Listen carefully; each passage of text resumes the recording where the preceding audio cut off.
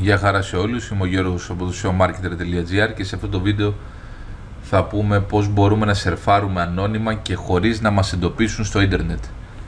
Ένας από τους βασικούς παράγοντες που μας εντοπίζουν στο ίντερνετ είναι ο περιηγητής. Σας δείχνω μερικά παραδείγματα πώς μπορούμε να το διαχειριστούμε. Το ίντερνετ θεωρήθηκε κάποτε ως ε, προπύργιο της ιδιωτικής ζωής. Η online ζωή δηλαδή διαβρώνει γρήγορα τα συναισθήματα της προσωπικής ανωνυμίας μας Δημοφιλείς τοποθεσίες όπως το Facebook έχουν προετοιμάσει το δρόμο για τους ανθρώπους να δουλεύουν στην προσωπική μας ζωή όπως ποτέ άλλοτε.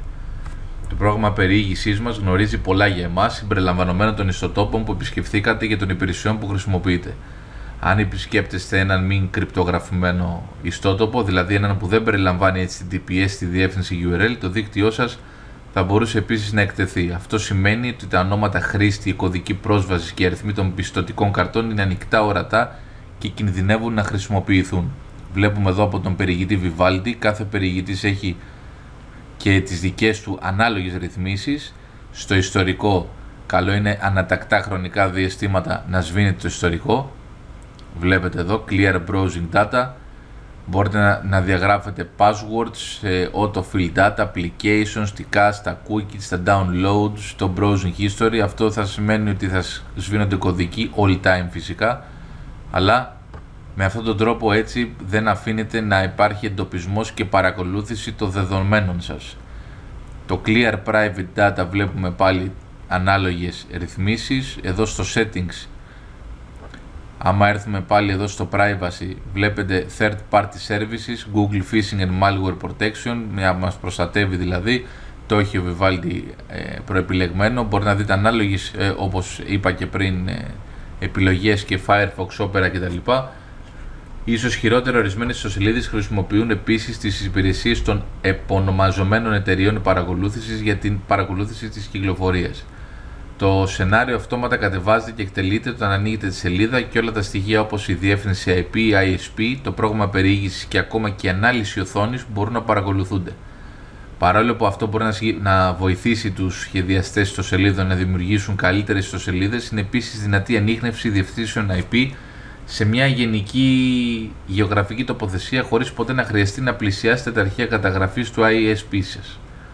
Θα πρέπει επίσης να κάνετε ένα σημείο κένωση στο cookies όπως προανέφερα, το πρόγραμμα τους περιήγησης κάθε λίγες εβδομάδες ή ημέρες, όπου επειδή όλες οι προσωπικές πληροφορίες όπως το ιστορικό ιστού, η κωδική πρόσβαση, οι λήψει και άλλα διατηρούνται στην προσωρινή μνήμη, η διαγραφή των cookies μειώνει το ψηφιακό αποτύπωμα και διατηρεί τα αρχεία καταγραφής στο διαδίκτυο στο ελάχιστο.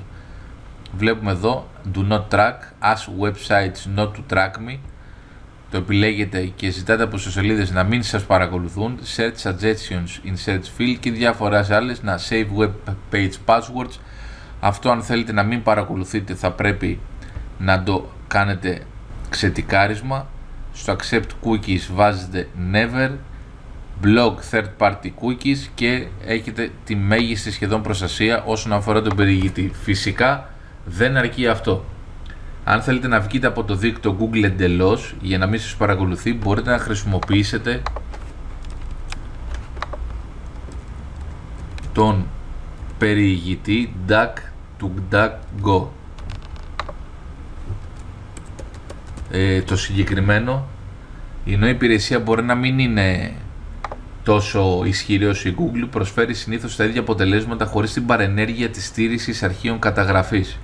Υπάρχουν επίσης διάφορα ανώνυμα προγράμματα περιήγησης που μπορείτε να προσθέσετε στο πλωστάσιό σας για να βοηθήσετε στη διατήρηση του ψηφιακού απορρίτου σας. Ο Firefox για παράδειγμα έχει κάνει μεγάλα βήματα για τη βελτίωση της ιδιωτικότητας των χρηστών και πλέον προσφέρει προεπιλεγμένη προστασία δεδομένων.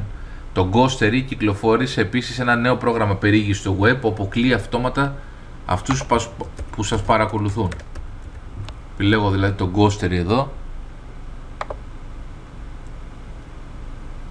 Βλέπετε πώς λειτουργεί το DuckDuckGo. Μπορείτε να ελαχιστοποιήσετε την παρακολούθηση.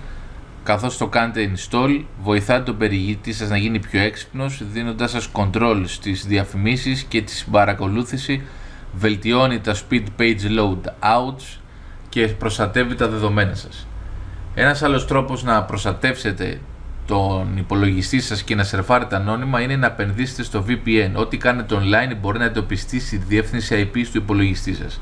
Αυτή είναι η φυσική διεύθυνση που χρησιμοποιούν οι ιστότοποι για να επικοινωνούν με το δίκτυό σας. Επομένως, αν θέλετε πραγματικά να περιηγηθείτε ανώνυμα, θα πρέπει να αποκρύψετε την IP σας. Ευτυχώς υπάρχουν εφαρμογές για αυτό. Μπορούμε να πούμε το Express VPN συνδέοντας έναν ανώνυμο διακομιστή VPN. Βλέπετε ένας από τους κορυφαίους Μπορείτε να περιηγηθείτε στον ιστό σαν να είσαστε κάπου αλλού. Μπορείτε να τα χρησιμοποιήσετε για να έχετε ανώνυμη την τοποθεσία σας ή μπορείτε να χρησιμοποιήσετε VPN για να ξεμπλοκάρετε το περιεχόμενο με προορισμό. Ε, ενώ τα VPN έχουν αυξηθεί σε δημοτικότητα και είναι τώρα απίστευτα εύκολο να βρεθούν, αξίζει να αφιερώσετε το χρόνο για να διερευνήσει ποιος τύπος υπηρεσιών θέλετε. Δεδομένου ότι το ExpressVPN είναι ο κορυφαίος πάροχος υπηρεσιών, σας προτείνω να ξεκινήσετε από εκεί σας εξηγεί τι είναι το VPN, πώς μπορείτε, τι μπλοκάρει, τι προστασία σας προσφέρει κτλ.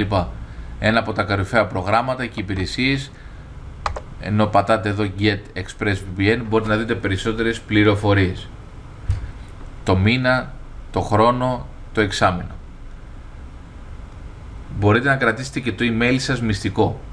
Αυτό αφορά κυρίως το spamming μέσω email. Η διεύθυνση email αποτελεί μεγάλο μέρος της ηλεκτρονικής σας ταυτότητας. Είναι επίσης μια πολύτιμη πηγή εσόδων για άτομα των οποίων η επιχείρηση συνεπάγεται την προμήθεια spammers με ζωντανές διευθύνσεις.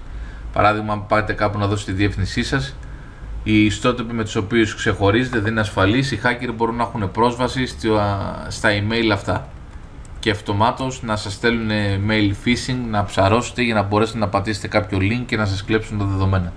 Σίγουρα οι δημοφιλείς υπηρεσίες όπως το Gmail χρησιμοποιούν το HTTPS και περιέχουν το επιστοποιητικό SSL που χρησιμοποιείτε για τον έλεγχο ταυτότητας και την πληρογράφηση μηνυμάτων όμως ε, αυτό δεν σημαίνει ότι είναι 100% ιδιωτικά. Τα μηνύματα email των χρηστών έχουν αναγνωριστεί ακόμα και στην Google για καλύτερη στόχευση διαφημίσεων. Συνεπώς, το Gmail είναι μια χαρά email για να παρακολουθήσετε. Αν θέλετε λοιπόν να χρησιμοποιείτε ένα email για συγκεκριμένο χρονικό διάστημα το οποίο δεν θα παρακολουθείτε, προτείνω να χρησιμοποιήσετε το Guerrilla Mail το οποίο είναι ένας τύπος λογαριασμού που μπορείτε να το χρησιμοποιείτε για ένα συγκεκριμένο χρονικό διάστημα. Κρατάει για λίγο και δεν χρειάζεται να κάνετε γραφή. Στέλνετε το email σας απευθείας. Είναι δωρεάν στη χρήση. Βλέπετε compose εδώ. Αποστέλλετε το email και δεν μπορείτε να παρακολουθηθείτε από τον χρήστη που θα λάβει το email ή ακόμα όταν θα στείλετε κάποιο email για να πραγματοποιήσετε κάποια ενέργεια δεν θα μπορείτε να σας κάνει κάποιο spamming. Προσέξτε βέβαια το spam. Ακόμα και αν δεν ανησυχείτε για τις πιθανές συνέπειες της ιδιωτικής ζωής που σχετίζονται με το email σας, ίσως ανησυχείτε τουλάχιστον για το spam. Όταν εγγράφεστε λοιπόν σε έναν ιστότοπο ή μια υπηρεσία, συνήθως εισάγετε το email σας ως μορφή αμοιβή στον κυβερνοχώρο. Παρόλο που αξίζει να έχετε περισσότερους από ένα λογαριασμό email, ε, προτείνω και συνίσταται επίσης η εγγραφή σε κρυπτογραφημένη και ανώνυμη υπηρεσία ηλεκτρονικού ταχυδρομείου ε, μια υπηρεσία η οποία θα μπορέσει να σας βοηθήσει σε αυτό είναι το πρώτο mail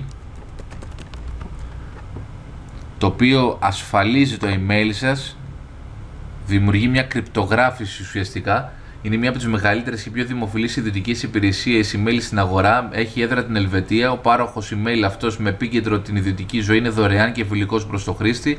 Η εταιρεία το μόνο που σας ζητάει είναι δωρεές σε αντάλλαγμα για την υπηρεσία. Και τέλος, μην φοβηθείτε να, να μπορέσετε να μπείτε υπόγεια στο ίντερνετ. Δεν είναι καθόλου κακό εφόσον κάνετε νόμιμες ε, και ασφαλές ε, αναζητήσεις και συναλλαγές. Παρόλο που κάποτε θεωρείται το κακόβουλο υπογάστρο του διαδικτύου, ο Tor έκανε σιγά σιγά το δρόμο του προς το mainstream. Είναι γνωστό ως Onion Router, είναι ένα δίκτυο υπολογιστών που απλώνεται σε όλο τον κόσμο. Όταν είναι ενεργοποιημένος στο πρόγραμμα περιήγησης, ο Tor κατευθύνει όλη σας την εξερχόμενη κυκλοφορία του διαδικτύου μέσω αυτού. Κάθε σύνδεση λοιπόν παίρνει τυχαία διαδρομή και εμφανίζεται σε τυχαίο σημείο, συνεπώς δεν μπορούν να σας εντοπίσουν. Όταν φτάσει λοιπόν στο ιστότοπο προορισμού, φαίνεται ότι κινούμαστε γύρω από τον πλανήτη λεπτό με το λεπτό. Σημειώστε βέβαια ότι ο Tor κάνει μόνο τη διεύθυνση IP ανώνυμη, και λειτουργεί μόνο όταν περιηγείστε στον ιστό. ενώ άλλοι τύποι κίνησης θα περάσουν κατευθείαν από το μηχάνημά σου στον προορισμό τους. Συνεπώς, να ξέρετε ότι μόνο την IP προστατεύει ο Tor. Μπορείτε να το κατεβάσετε από το, επόμενο, από το επίσημο site Tor, ανώνυμο online, που προστατεύει το privacy, προστατεύει τον εαυτό σας ε, απέναντι σε παρακολούθηση και ανάλυση επισκεψιμότητας. Ευχαριστώ που παρακολουθήσατε το βίντεό μου.